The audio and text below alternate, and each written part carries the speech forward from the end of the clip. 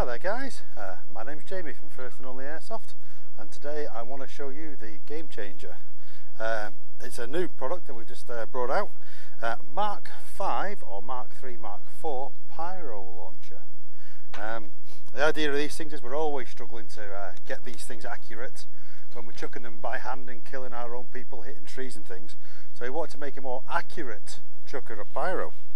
So uh, this is what she looks like. She comes in a tube and you've got all your instructions in there.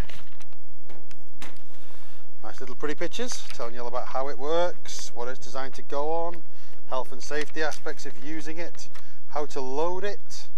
Nice little bits like that. Have a look, look through there. And here's the main apparatus itself.